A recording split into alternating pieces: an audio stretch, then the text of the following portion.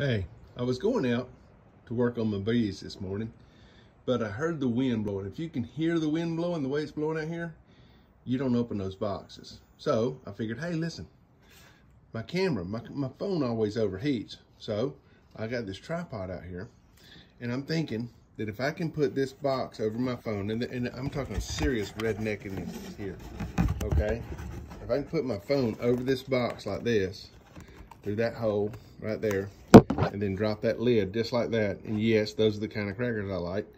Uh, you should buy them off of Amazon, use our link. Uh, and so just like that and that, and then it could close down and keep the direct sun off of my, my video while it's filming and I can see through that hole right there. I think it's gonna work.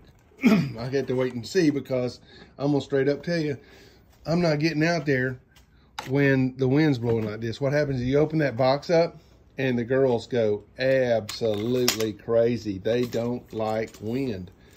And of course it disturbs, what it is, it disturbs the hive. So we'll do that another day. In the meantime, we're putting our equipment up. Always put your equipment up, folks. Always store your equipment well, all right? In the meantime, that's what we got to do today. And, uh, whew, let's take a walk. We're gonna see our, uh, our girls, how they're doing.